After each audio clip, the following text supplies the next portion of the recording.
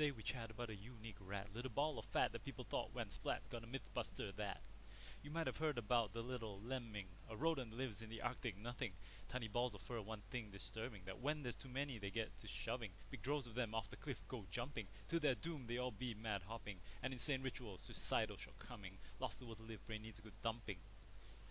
Yeah, but it turns out this is a myth circulating. The lemmings ain't just doing body dumping. To the wind their little lives be throwing. When they get too many, they start migrating. Out of their burrows they will go flooding. Some faraway land to which they be rushing. When they run out of land, they all start falling. Like that computer game we all were playing. A lot of the time they just end up swimming. But they ain't suicidal, just not too cunning. Yeah. Early scientists thought they fell from the sky. For many years, scholars kept asking why. The furry little guys gave up with a sigh. Together they would rush to leap from up high. A Disney documentary made this myth fly, but I'm here to tell you, lemmings don't banzai, just a misconception that we should deny. Yeah. That's right. Alright. Hey guys, it's Sam. How's it going? So, that was a bit of fun. Ooh, I forgot to show you, show you the pictures during the rap. Ah, that's okay. Here, I'll show you them now. So, uh, as you heard, I've been talking about them lemmings. Lemmings. Oh, look at them. Aren't they cute? Cute little lemmings. So that's them on the snow. Yeah, so lemmings lemmings are very interesting creatures uh, in that they are not your typical color. Right, so, okay, lemmings are rodents. Okay, and rodents typically are, you know, a very very plain color. You know, they want to camouflage. They want to blend into the background. Yeah. So not these guys. These guys are vibrant, and they are not timid. They are aggressive. Yeah, that's right. You heard me. They will. They will bare their little fangs at you. That's right.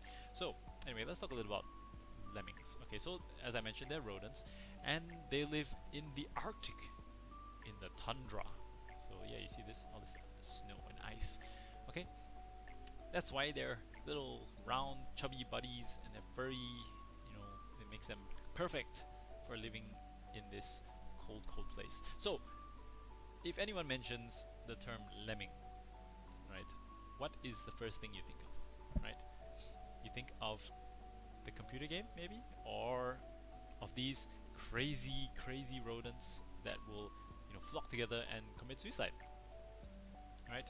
So for yes, the longest time, um, lemmings were thought to be suicidal.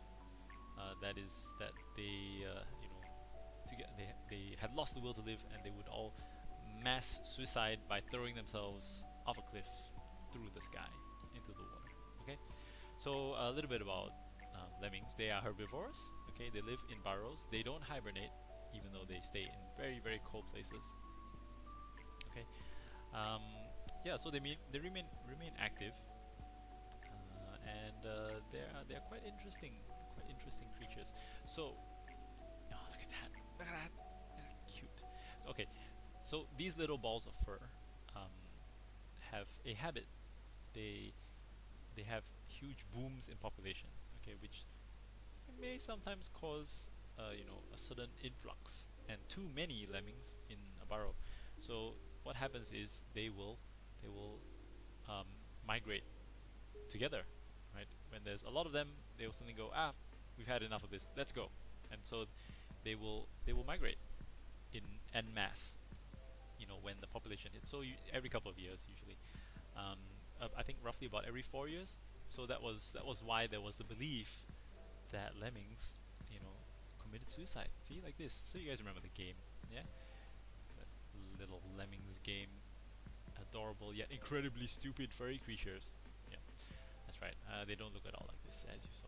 Okay, so yeah, you remember. Is bring back memories. Frantic little guys running back and forth, you know, and you gotta help them not die. Also, doesn't look that hard.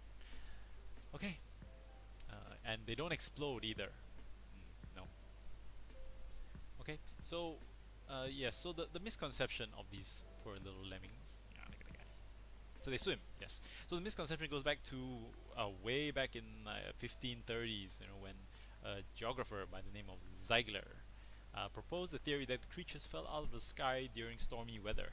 Okay, because um, yeah, clearly he was, you know, he was out chilling in the forest when suddenly, you know, one of these, one of these dudes went, you know, plop, and went arg.